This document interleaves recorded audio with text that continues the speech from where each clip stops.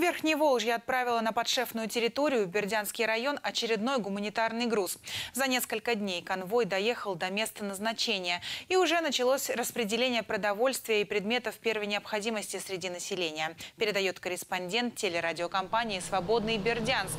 При поддержке Министерства чрезвычайных ситуаций России в город Бердянск прибыл очередной груз гуманитарной помощи из Твери. 15 грузовиков гуманитарного конвоя привезли более 85 тонн помощи. Это продукты, бытовая химия и подгузники, офисные принадлежности, а также парковые светильники, краска, запчасти и многое другое, в чем нуждаются коммунальные службы города. Также из Тверской области прислали 3000 портфелей, полностью укомплектованных для учеников младших классов.